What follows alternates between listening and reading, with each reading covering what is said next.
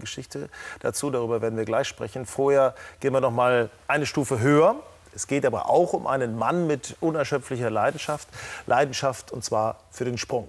Danja Werner mit wunderbaren Bildern von einem Pionier im deutschen Fallschirmsport. Über 2000 Mal ist Werner Fleig schon gesprungen. Heute ist er 70 und kann es immer noch nicht lassen.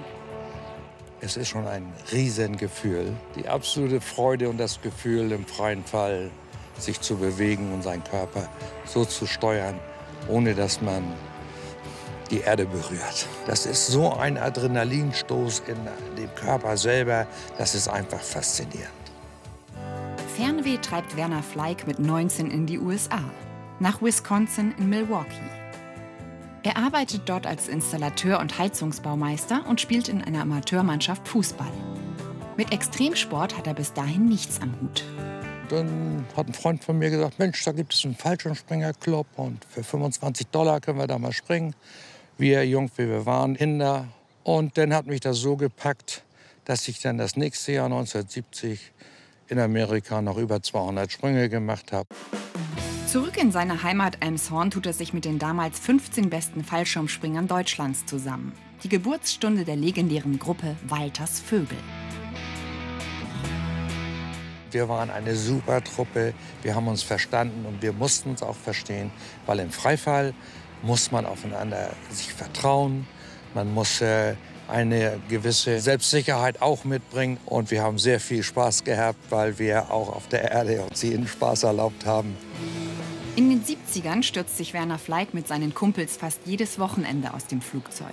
Sie gehören zu den deutschen Pionieren im Formationsspringen und bilden als erste Europäer einen sogenannten Zehnerstern. Dieses auf den Punkt, hundertprozentig fit zu sein, zu sagen, okay, jetzt geht das los. Und wir hatten ja immer nur 30, 40 Sekunden, um das zu vollenden. Und äh, das hat äh, jeden von uns ausgezeichnet, dass wir absolut im Kopf frei waren und schnell und zuverlässig. Der Emshorner und seine Mitstreiter haben sich alles selbst beigebracht. Und obwohl sie nur Amateure sind, werden sie deutscher Meister und nehmen an Weltmeisterschaften und Weltcups teil. Immer unterstützend mit dabei Ehefrau Silke, mit der Werner Fleig seit 42 Jahren verheiratet ist. Werner hat mir damals gesagt, bevor wir geheiratet haben, im Standesamt wohl bemerkt, da hat er mich so ein bisschen zur Seite genommen und da hat er zu mir gesagt, Seke, äh, bitte nimm mir niemals meinen Sport.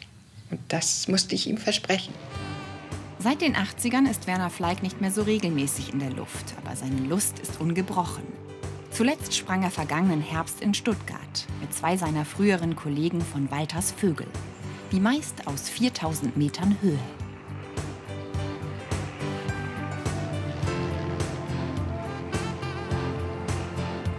Es war wie immer. Gingen raus, machten unsere Formation und sind glücklich gelandet.